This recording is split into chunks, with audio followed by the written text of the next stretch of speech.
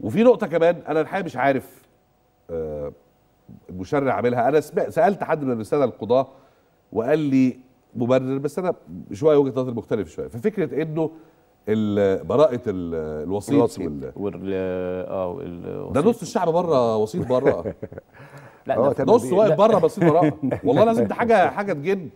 هو تامر كأنك بتدي يعني مبرر إنه حاول ولو بتاع بلغ وأنا تمام. وأنا آه. يعني ده في واحد مش مهم أقول لك يعني آه، أنت في حد في. حد بلغ بعد ما دفع آه، النص عارف الأولاني من؟ من, من لا وفي زميل مش زميل يعني انت عارفين في صحفي كده ممسوك مرتين والمرتين واخد مرتين.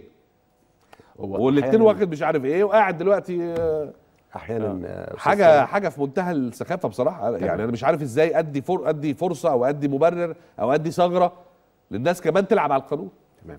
أحيانا المواطن ما بياخدش حقه إلا من هو خلال هذا المشرع. لما سألته قال لي ده عشان يغري الناس إنها تبلغ. بالظبط كده. ما هو أنت قبليها هتغريه إن هو يخش؟ ليها ليها يا. أستاذ وتقول له لو اتمسكت بلغ فعلا ليها إيجابياتها وليها سلبياتها. إنما في ال- في الفترة اللي إحنا فيها اللي هي فترة مواجهة آه، انحراف الموظف العام ده اللي يهمنا دلوقتي. أيوة.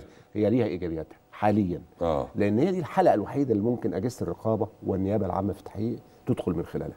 إن بتاخد اعتراف من الراشي أو من الوسيط. آه. تاخد اعتراف صريح منه وليها ضوابط في القانون زي يعني أنا. أفهم إنه تخفف العقوبة.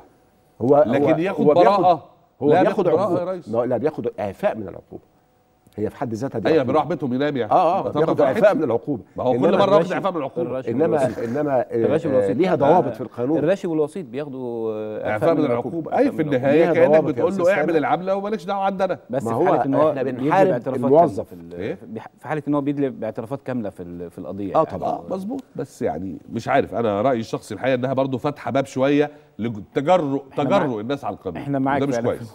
هو يعني طبعا معايا انه طبعا طبعا آه ليها ميزه بس عيوبها أنا كمان. شايف يجب تغليظ العقوبات العقوبات جداً. أنا, أنا لازم أح- أحاسب الفاسد آه، اللي- اللي ماسك منصب في الدولة زيه زي القاتل بالنسبة لي لأن أنت مش القاتل بيقتل واحد أنا مش عايز أبقى إنما مستبد ولا دكتاتور يا الفاسد أستاذ طه. الفاسد بيقتل 100 واحد. الله يفتح عليك. يعني- أنا مش عايز أبقى مستبد ولا دكتاتور بس آه، الصين الصين دي كانت أكثر دول العالم فسادا في نهاية. الثمانينات وبداية التسعينات. سين لما عندها جه- الفساد إعدام. إعدام. بس لما جه رئيس دولة قال لهم يا جماعة مش هنعرف نكمل بالفساد ده.